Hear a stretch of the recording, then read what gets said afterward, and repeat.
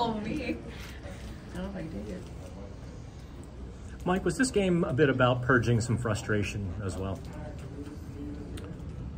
I, I don't think it's about purging anything. We're, we're trying to we're trying to put a game on the ice that gives us a chance to win every night. And so, um, you know, I've said I've said on a number of occasions here in the last little while, we felt like you know we've we've put stretches of games together where we, we think we've played well, um, and we haven't got rewarded for it. Tonight we did. So um, it, it, should be a, a, one that we can build on. I hope it'll be a boost of confidence for a lot of guys. Um, we'll take the two points and, and we'll get ready for the next one. What did you like about the way the team played other than the fact that you guys scored a lot of goals? I, I just thought, especially, you know, in the first the first half of the game before it got opened up a little bit, I thought, you know, I thought we played a conscientious game. You know, I thought we were, we knew they were a team that plays the game with a lot of aggression. Um, and one of the challenges was going to be to beat the, beat their aggression. We had to win the walls. Um, you know, they're really active with their D and if we could if we could win the walls, we'd get some opportunities, get some looks, and I and I thought uh, I thought our guys did a good job in that area, um, being ready for their to handle their pressure. I thought we made pretty good decisions with the puck and playing behind them when uh, when we didn't have uh, any sort of uh, space uh, to create in front of them, and uh, and I thought we did a good job just with the decisions that we made with the puck between the blue lines, and I think that's such a critical area of the rink.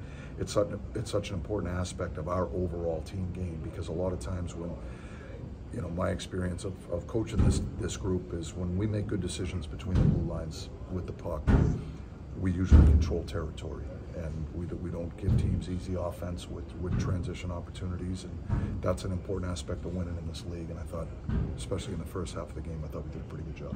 So, Coach, um, even though this is a great overall win, how important was it for Karlsson and Matt Nieto to get the win? Did you feel good about that? For sure, yeah. I mean, I, you know, it, it's always. It, it, means something a little extra as a player when you come back and play your former team. That there's always something special about it, and uh, I'm sure it felt good for those guys to come back. And you know, I know they have a lot of fond memories here in San Jose. Uh, they speak very highly of uh, of the city and the fans and the organization, and uh, but there's always a, there's always something unique and something special about as a player when you go back and play former teams, and uh, I'm sure I'm sure it meant a lot to those guys. Like that's 200 goals for Jake in his career, only 29 years old. When you first saw him play, do you think he had the chance to become the kind of player that he has? Probably not. Uh, probably not, but I probably should have because if I'm not mistaken, I think he might have scored on the first two goal, first two shots on net. I believe so. Um, you know, maybe that was a foreshadow, but you know, he's an interesting player because he, you know, his there's no aspect of his game that jumps out at you that, um, you know, that that wows you. You know, he does he doesn't he's not tremendously big and strong. Um, you know, he's not a blazing fast skater. He doesn't have an overpowering shot.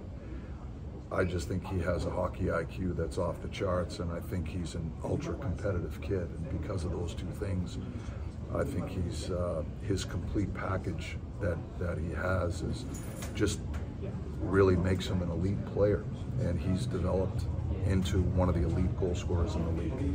What kind of an impact did Hinostroza have on the fourth line? I thought he had a strong impact. Uh, you know, obviously they they they chip in offensively for us, and which which is a, an important aspect I think for the overall group is when you get contributions up and down your lineup like we did today, it, it, improves chances to win. And so, but I but it was more than that. I thought his speed was really evident. I thought he was on pucks. He made good decisions.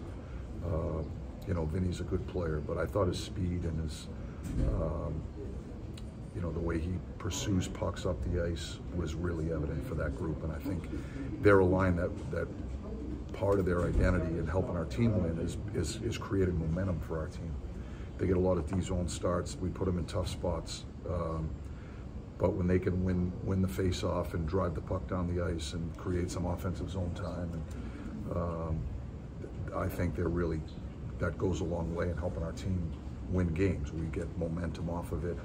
Uh, you know, and then some of our some of our top six forwards go over the boards in those situations, are able to carry that momentum and build on it. And I thought they did that all night long. Thanks, Coach. Thanks. Sure.